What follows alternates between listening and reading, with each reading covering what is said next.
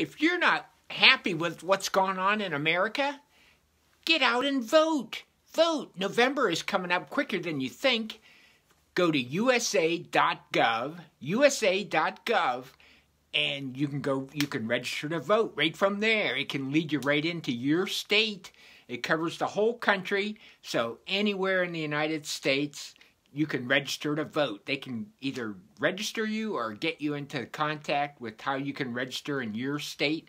But if you're unhappy with what's going on, if you don't register and vote, you have no right to say anything. When the ship goes down, when America is no more, if you didn't vote, you can't say anything.